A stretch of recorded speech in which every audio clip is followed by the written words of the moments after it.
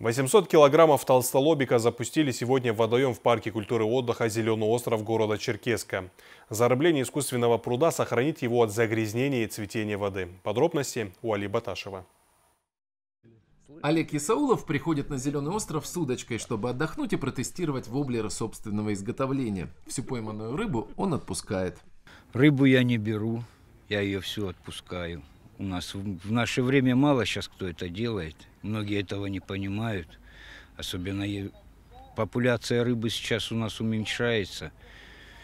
Надо думать о своих детях, о внуках, о будущем. Газель с контейнером, содержащим около 800 килограммов толстолобика, подъезжает к воде. Открывается крышка, и рыба устремляется в водную стихию, в новую среду обитания.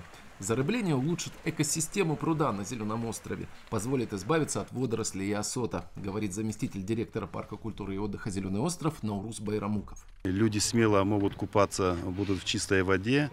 Э, также она э, принесет большую пользу э, нашим водоемам и нашим протокам.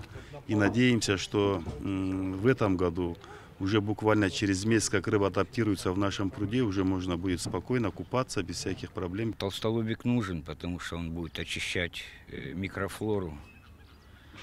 Будет меньше загазованность воды, вода будет чище, экологичнее для людей. Это только плюс, я считаю.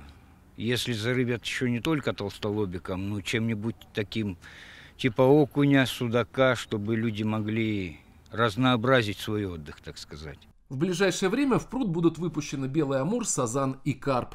Администрация парка убедительно просит рыбаков в течение года воздержаться от рыбной ловли на большом пруду Зеленого острова.